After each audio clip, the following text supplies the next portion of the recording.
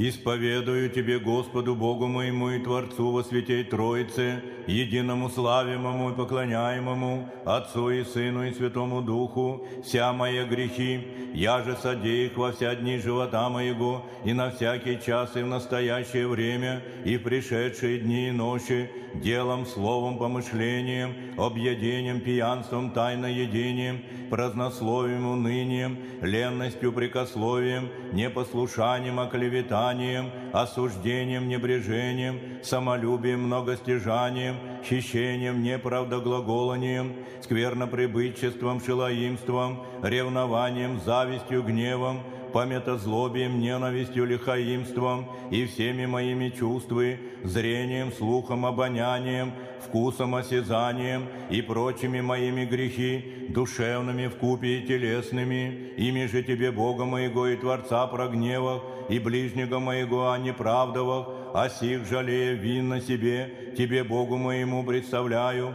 и имею волю каятися, точию, Господи Боже мой, помози ми, со слезами смиренно молю Тя, пришедшее же согрешение моя милосердием Твоим прости ми, и разреши от всех сил, я же из глаголов пред Тобою, яко благ и человеколюбец.